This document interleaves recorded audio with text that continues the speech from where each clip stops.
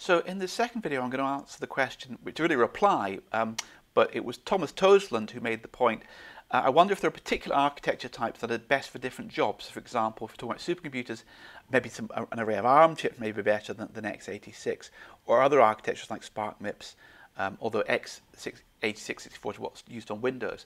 Now, so we're kind of in an unusual, we have been in an unusual phase since the turn of the century, uh, the last maybe 10 or so years, that really um, Intel chips x86 chips uh, have dominated the market. Prior to that, in the 90s, there was a whole range of, of, of um, um, architectures of, of CPU ch chips used in supercomputing. You've mentioned a couple there, SPARC and MIPS, and there, there were others.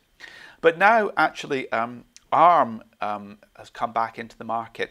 Now, ARM chips are designed for very, very low power, and so they're fantastic for things like mobile phones and portable devices.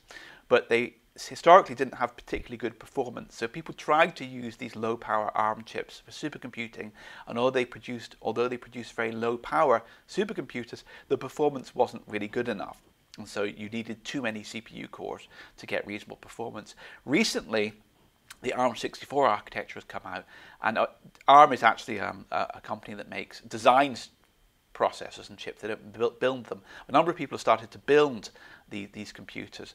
Um, um, computers out these these chips, and people are building supercomputers out of ARM chips. Now, actually, they're not particularly low power, but the interest for us is that there's another manufacturer there. So now there's going to be some competition, and so actually in the UK uh, there is a national service called Isambard, um, which is built out of ARM64 processors, and there's um, three systems going in, uh, slightly lower power, but also um, parallel computers built out of ARM64 processors. EPC is going to have one.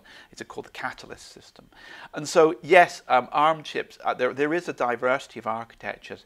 And, uh, and, and what people will do when there is a choice of architecture, of, of, CPU, people will, you know, when, when they're about to buy a supercomputer, will just run, ask the manufacturers to run standard benchmarks on different processors and see which is the fastest.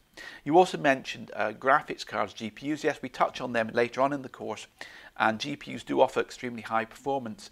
Um, and again, they're pretty cost effective because there's a large market out there uh, for gaming and also more recently for artificial intelligence, deep learning applications.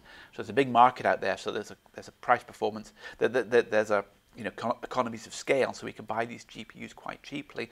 Currently, um, quite a lot of work to port an application to GPU because it's a slightly different programming model.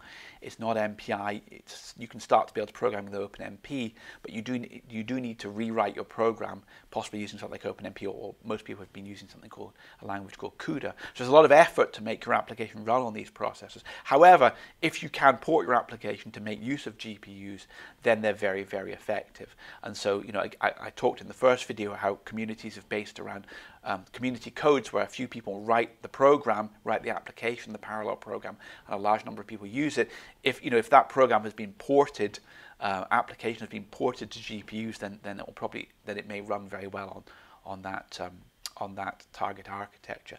So I think that you know um, the most important thing to say is that you know the fact that there's only really been one um, dominant CPU in the market for a long time. The Intel architecture is slightly unusual historically, but we're entering a new phase, which is going back to what it used to be like, where we have a choice of, of CPUs here. We have ARM CPUs and um, and, and, and now, uh, as well as the Intel CPUs and, and AMD are also bringing out their own their own CPU called EPYC, um, which which will be interesting. And also, we have these graphics processors which we can use, and so things are opening up, and that's good for diversity. It's good for competition. It's good for taking the field forward. So it is a very very exciting time in supercomputing, uh, both from the size of the machines entering the exascale, era with, with large numbers of CPU cores, but also um, the type of CPU cores we're going to be using is going to be give us more choice and more flexibility.